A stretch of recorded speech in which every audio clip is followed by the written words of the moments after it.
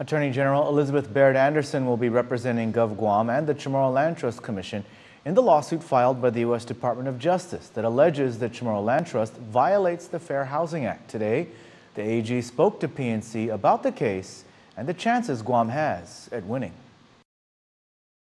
Do you think Guam has a good case? It, that, that's a hard question to say, a, a, a good case, you know, legally a good case. Do we have a sound legal argument? Maybe if I can answer it that way. Yes, I believe we can make a sound legal argument.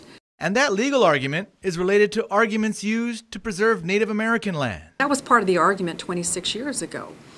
Uh, and 26 years ago, that discussion of the Indian tribes and the recognition by Congress to preserve Indian tribes by enacting laws that discriminate, such as you cannot fish or hunt in tribal lands.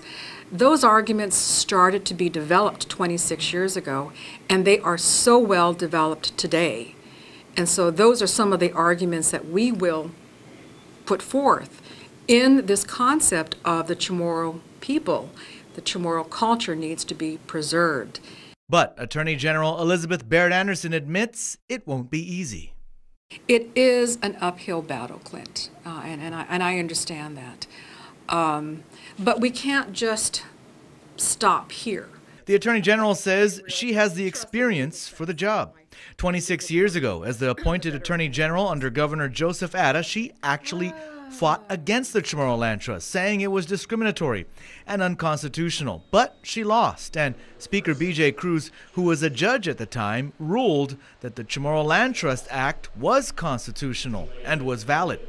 She accepted the decision, and then as a senator in the mid 90s, she actually helped to place lands into the trust in order to get the trust started.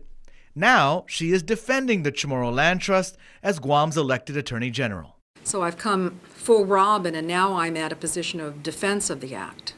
So challenge of the act, implementation of the act, and now defense of the act. Clynt, what I'm going to try to do in this lawsuit is defend this law, which has been held valid under Guam law, and to make the record in the district court against um, the federal government's uh, uh, arguments and take that record, if we are not successful there, take it up to the Ninth Circuit and make that record in the Ninth Circuit.